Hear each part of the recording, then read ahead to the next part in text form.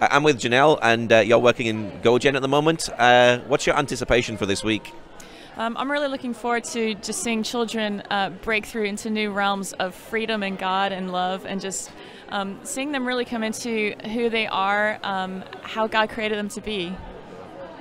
And uh, is it going to be a lot of fun at GoGen as well? Oh, you bet. We've got all kinds of things uh, planned for the kids.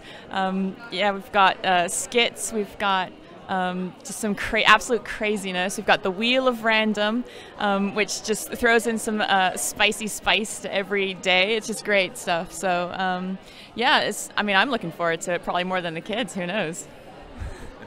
I know when I was with GoGen, you used to have a drama that you played with the kids, and it seemed like it was like being put together every day and nobody really knew exactly what was going on. Has anything changed? Uh, yes, we're actually on top of things this year, which is quite, it makes a change.